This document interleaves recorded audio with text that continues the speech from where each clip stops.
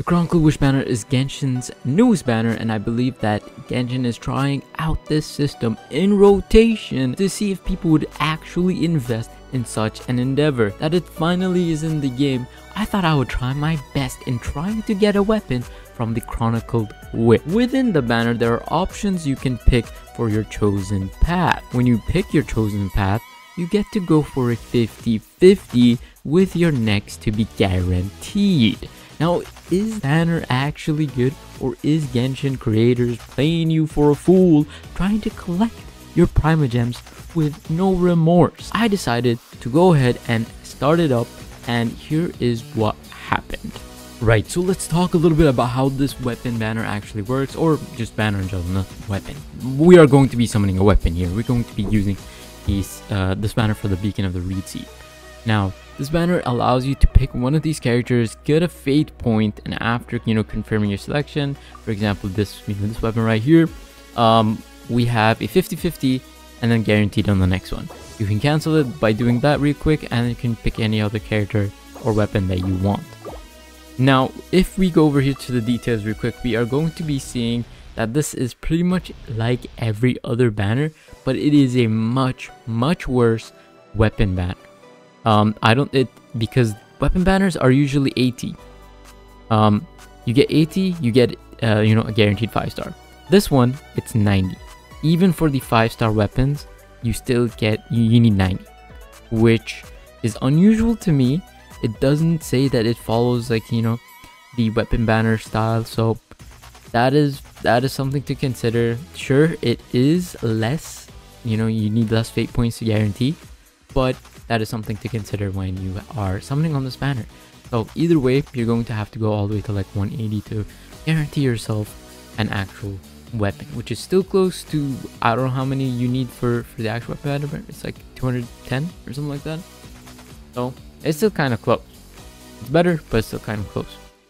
Now, this banner is also silly because it has, you know, other things, but we're going to talk about later. Right now, we're just going to be summoning for the Beacon of the Reed Sea and I'm very excited.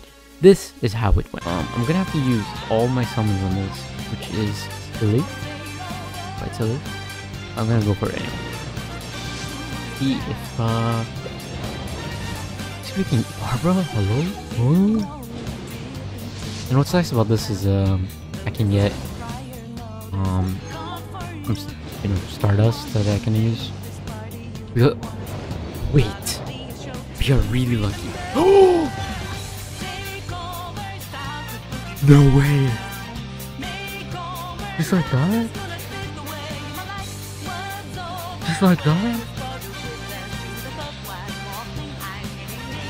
No way! Oh, we got Ember! That's really good! Yo, we're out! We're done!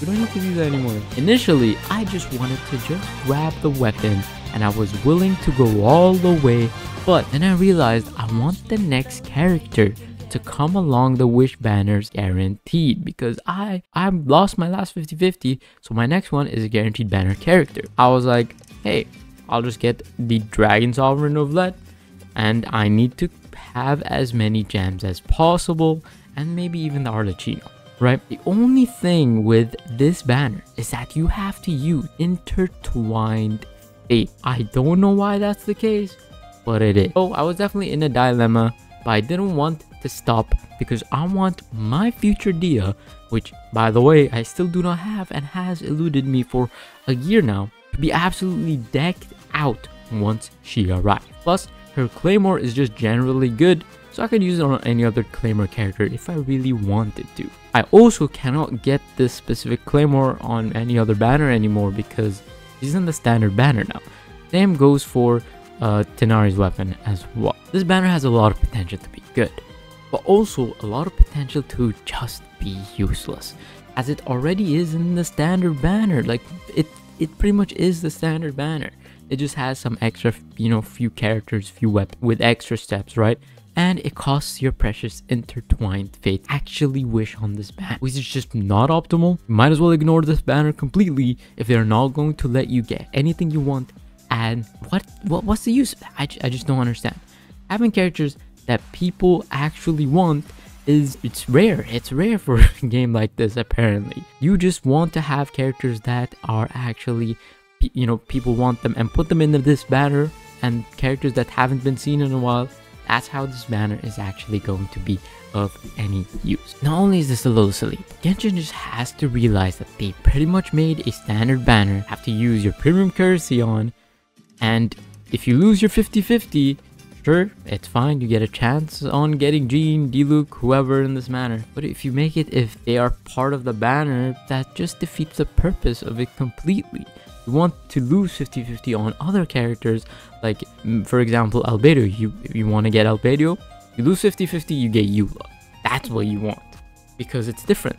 It's not the same as the standard banner. That's just i feel like that's a little crazy to me. And the way that you can actually pick standard banner five star characters like jean mona it's just a waste of space. If i had to take a step back and look look at it from like a general perspective i see Mondstadt characters right now within this banner Perhaps there's a Mondstadt theme going on with this one, so maybe, just maybe, on the next one, we might see a Liyue Chronicle Wish that, you know, would feature Liyue characters like maybe Ayaka, which we do not want, okay? We've had Ayaka for like 120 days on a banner at one point.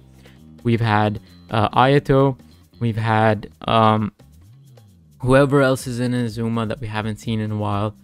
You, you could just add them in there, okay? That, that would be be pretty good if they actually had a rotation like that. So after that would be Sumeru and then Fontaine.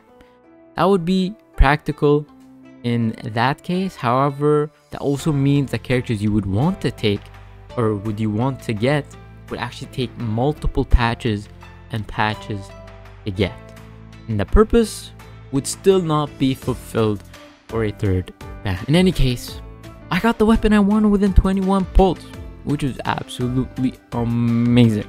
You will be absolutely thrilled and decked out when I lose a 50-50 and she comes home. And it will be a while, but for now I'm going to be pretty happy with what I got and I cannot wait to summon my next character soon. Dehya, I am coming for you. I'm coming for you.